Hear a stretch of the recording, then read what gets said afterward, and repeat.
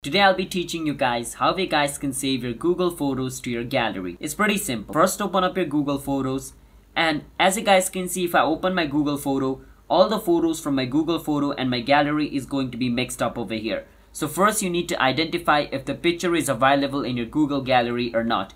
To do that, right beside your picture or your video, you're going to see this little cloud looking icon. As you guys can see right beside my pillow over here, you guys can see a little cloud looking icon with a tick mark beside it. That means this picture is stored on my Google Photos Drive, which means this photo is saved in my Google Drive. So I can download it. So I'm going to download one of these photos. I'm going to download this black one. So I'm going to hold on it.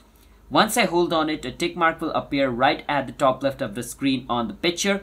That means the picture is selected. And I can even select multiple picture at once like this but I just want to download this one picture so I will tick mark this. So what you can do is at the bottom you can see the option you want to swipe right. Once you swipe right, you can see the option called Save to Device. You can click on Save to Device and it's going to show you saving, which means this photo is now is going to be saved on my camera roll like this.